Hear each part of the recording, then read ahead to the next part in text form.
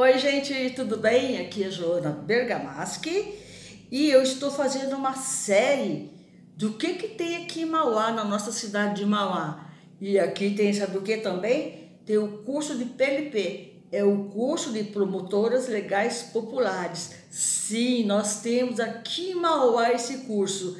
E vocês fiquem atentos aí no vídeo que eu vou falar um pouquinho sobre esse curso, tá, gente? Olha a minha camiseta que bonita, olha, olha só. Porque eu fiz o curso, tá, gente? Eu fiz esse curso, eu me apaixonei. E fiquem aí, fiquem aí, curtam o vídeo, se inscrevam no canal, porque tem mais mulheres que precisam assistir e ampliar os horizontes. Fiquem aí, gente.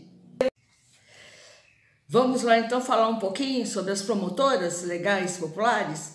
Então, o projeto ele foi criado a partir da sociedade civil, tá? É um curso é gratuito, tá?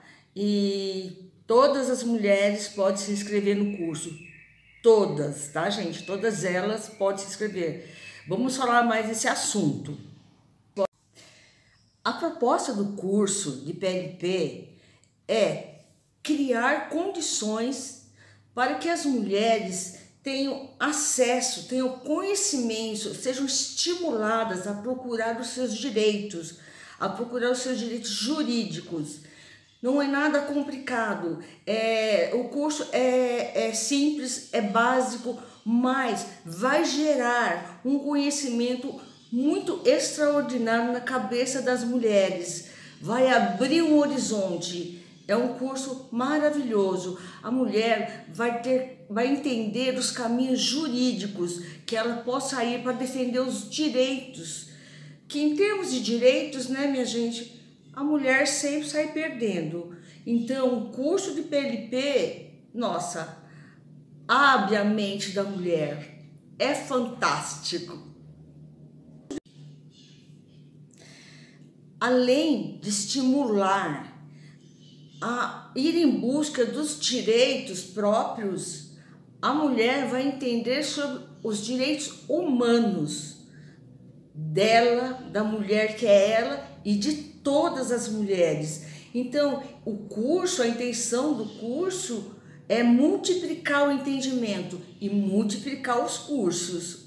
Entenderam? Eu vou explicando mais ou menos. Mais ou menos eu digo, sabe por que eu não vou explicar tudo? Porque vocês vão entrar para o curso de promotoras legais populares. Aí vocês vão entender tudo. Aí você me pergunta, quem pode fazer esse curso? Todas as mulheres podem fazer o curso de PLP, todas. A dona de casa, a advogada, a médica, a professora, Todas as mulheres podem fazer esse curso. Esse é um, ah, é um curso diferente. Aí você pode falar assim: ah, mas já fiz faculdade, eu não preciso disso. Gente, é um curso diferente, humanizado, totalmente diferente, que tem muita coisa ali que você vai ver que você não viu na sua faculdade. É diferente. Não dá para me explicar tudo aqui agora, porque você vai fazer o curso, com certeza. Então, é, toda semana é, vão palestrantes e debatem vários assuntos para as mulheres. São vários assuntos e são palestrantes que são voluntárias, é, são pessoas maravilhosas. É, nós temos palestrantes que são advogados, advogadas, é, temos psicólogas, temos ciências sociais, temos líderes de movimentos. S são palestrantes maravilhosos. Olha, sem contar que vocês vão fazer amizades simplesmente inesquecíveis. O curso, a duração média é de 92 horas, é de 8 a 10 meses, vai variar de cidade para cidade, tá? Então, aí vou falar um pouco sobre o curso durante a pandemia. Então, durante a pandemia, o curso foi feito online. Foi online, mas não deixou de ter. Então, vamos torcer para que ano que vem, em 2022, os cursos voltem a ser presencial. Aqui na nossa cidade de Mauá, os cursos são ministrados na Defensoria Pública. E sobre acessibilidade, o que, que eu vou falar? Afinal, né? É o meu tema. Então, sobre acessibilidade, gente, é, o nosso curso aqui em Mauá é feito na Defensoria Pública e lá tem acessibilidade. Tem o elevador, quem vai de carro que desce até o térreo e o elevador que sobe até a sala onde tem reuniões. Então tem acessibilidade e tem dois lugares para estacionar para pessoas com deficiência. Então tem acessibilidade. E falando sobre acessibilidade, tem um, um momento da aula, um dos temas da, da aula, que é sobre os direitos fundamentais, que inclusive fala dos direitos das pessoas com deficiência, que está na Constituição. Então, há esse momento que debatemos esse assunto sobre acessibilidade e os direitos da pessoa com deficiência. Bora lá fazer o curso, hein, gente? Vocês estão perdendo tempo, hein? Vou falar um pouquinho é, quem trouxe o curso para a nossa cidade aqui em Mauá. Olha, eu vou falar é, das pessoas que eu conheci na época que eu fui fazer o curso, tá?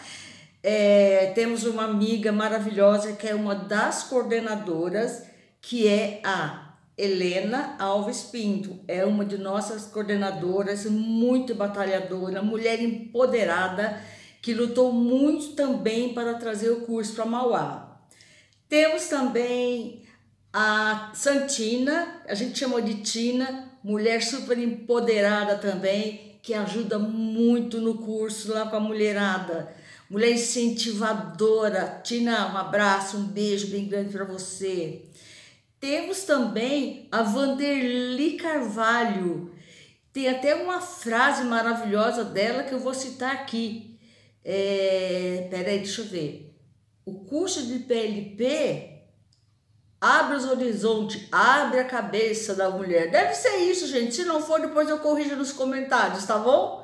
Mas olha, meninas lindas e maravilhosas, tem também a Marlene. Marlene é uma excelente mulher empoderada, lutadora, batalhadora.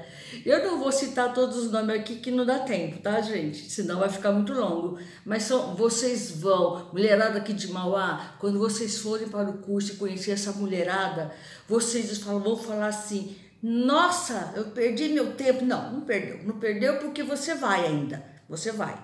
O importante é ir. Vamos lá, hein, mulherada? Nós vamos tá junto em 2022, vamos estar tá tudo junto lá na defensoria, tá? Como o nosso lema é defender a mulher de todo tipo de violência, eu vou, vou ler aqui alguns tipos de violência. Vou ler, tá, gente? Por exemplo, um dos tipos de violência humilhar, xingar e diminuir a autoestima da mulher. Tipo assim, fazer um deboche, uma piadinha de mau gosto. É uma violência contra a mulher, tá? Tirar a liberdade dela de crença é uma violência, não pode. A mulher tem a crença que ela quiser. Ninguém pode tirar isso dela, nem um homem, ninguém. Fazer, é, fazer a mulher achar que ela está ficando louca. Não tem homem que fala assim, você tá louca. Violência contra a mulher. Controlar e oprimir a mulher. Quer controlar ela, controlar ela, a roupa que ela usa, o que ela fala, oprimir a mulher, violência contra a mulher. Expor a vida íntima, não pode, é uma violência, não pode. Atirar objetos, sacudir, pegar nos braços, enfim, violência física, não pode de jeito nenhum, nenhum tipo. Forçar atos sexuais, piorou, né, gente? Piorou, né? Violência extrema, não pode. É, por exemplo, impedir a mulher de, de prevenir uma gravidez, não pode, se ela quer prevenir, é um direito dela. E também não pode exigir que ela faça o aborto. A mulher é que sabe se ela quer ficar grávida ou se ela não quer, é problema dela. Nenhum homem pode forçar isso, nenhum, nenhum, tá? Nem o Estado, viu? Nem o Estado é, pode obrigar a mulher ou a abortar ou se incentivar a ficar grávida. Hum. Outra coisa é é controlar o dinheiro, controlar o dinheiro, reter documentos, isso aí é patrimonial, uma violência patrimonial. Ficar escondendo o dinheiro da mulher, escondendo os documentos do, do patrimônio do casal, não pode, é uma violência contra a mulher. É, por exemplo, quebrar um objeto da mulher, não pode, o homem não pode destruir os objetos da mulher. Televisão, a bolsa dela, o sapato dela, coisas dela, não pode quebrar. É uma violência contra a mulher. Gente, eu vou parar por aqui, tá? Porque as meninas lá do curso têm muito o que falar, tá? Gente, se teve alguma coisa que eu falei a mais aqui, por favor, me corrijam nos comentários, tá? Porque eu não sei de tudo, aliás, eu não sei nada, por isso que estou sempre estudando, eu não sei nada. Então, se eu errei alguma coisa, por favor, me corrijam e vamos estar juntos, nos defendendo, nos apoiando e a tal da sororidade que há entre nós. Beleza, mulherada?